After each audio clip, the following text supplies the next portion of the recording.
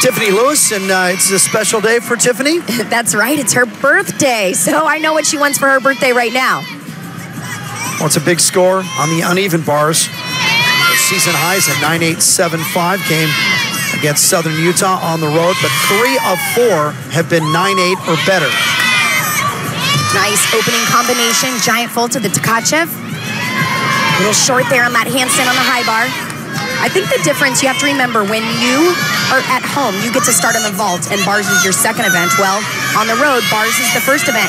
You can see him holding back just a little bit on those handstands, something they work really hard on, but they have nailed the dismounts. See Tom Farden, co-head coach there just to the right in the black golf shirt. He applauds the effort.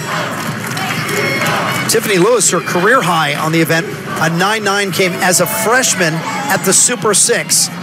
That's the finals of the NCAAs, and that was her best as a freshman. Megan Marsden in the foreground and in the back.